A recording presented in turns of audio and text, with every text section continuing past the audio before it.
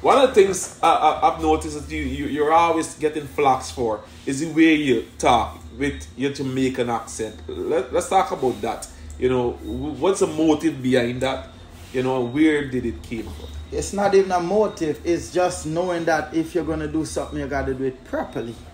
This segment of Intoxicated, the Sip and Chat Show, is sponsored by Mona's Creation. Contact Mona's Creation for all your epoxy resin art pieces. The art pieces varies from clocks to coffee tables to wall pieces to mirrors and even bar tables. So contact Mona's Creations by phone or on all social media platforms.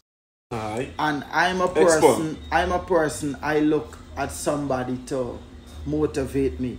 I never seen a Guyanese sing dancehall with their accent and make no crazy money for I well, hey, I gonna follow John Town. Mm. You understand me? I see Natural Black did it.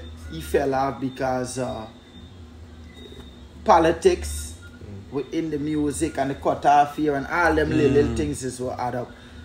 But me, we can do this thing the right way and we can do it the reggae way, which is from Jamaica. And you see, when somebody could hear you without supporting you because you're from Guyana. Yeah.